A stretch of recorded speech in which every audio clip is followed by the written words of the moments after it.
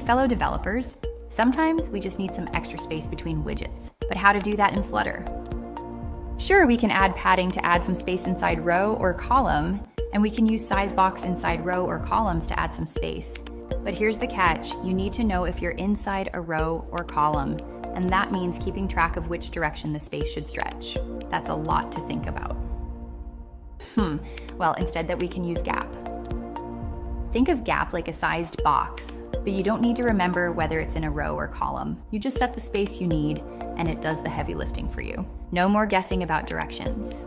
Just define the space you need and gap adjusts seamlessly in the right direction. No additional configuration required. Even better, it integrates effortlessly with scrollable widgets. So, when your layout needs a bit of breathing room between widgets, simply drop add a gap.